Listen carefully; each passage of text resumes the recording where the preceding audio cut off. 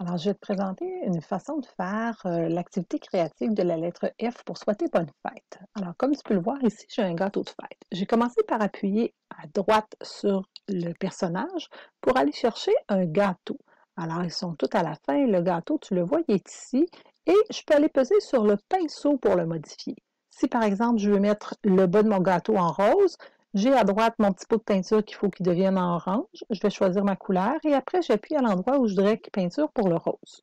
Si je veux prendre le temps d'écrire, je vais aller en haut à gauche et je vais prendre avec mon doigt le temps d'écrire mon bonne fête. Une fois que c'est ton dessin et l'écriture que tu voulais faire est confirmé, tu vas en haut à droite pour appuyer sur le crochet. Alors là, comme j'en ai deux, je vais prendre le temps de jeter celui-ci. Et par la suite, dans le fond, ce que je veux faire, c'est que je veux animer mon gâteau de fête. Alors, j'ai choisi dans les blocs jaunes le drapeau. Je voudrais aller enregistrer une chanson. Alors, je peux prendre le temps de chanter Bonne fête.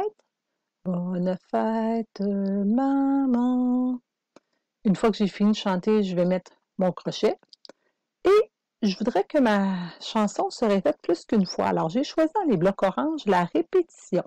En cliquant en bas, je peux décider le nombre de participations, le nombre de répétitions, pardon, que je veux. Alors, dans mon son vert, j'ai enregistré ma chanson, je le mets ici. Et là, je pourrais tout simplement faire fonctionner mon programme. Et j'entendrai donc ma chanson. Je vais l'arrêter en appuyant sur l'octogone rouge. Et si je veux le partager, alors je vais aller en haut à droite, il y a un petit, petit morceau jaune. Alors si tu le fais, tu vois que tu peux enregistrer et euh, ton, un nom pour ton programme. Et par la suite, on demande aux parents de valider parce qu'on veut faire le partage avec des adresses courriels. Et euh, vraiment, selon la loi, c'est un adulte qui devrait le faire, même si tu es capable de répondre à la question. Alors, tu appuies, tu demandes à tes parents et ils pourront l'envoyer, par exemple, par adresse courriel.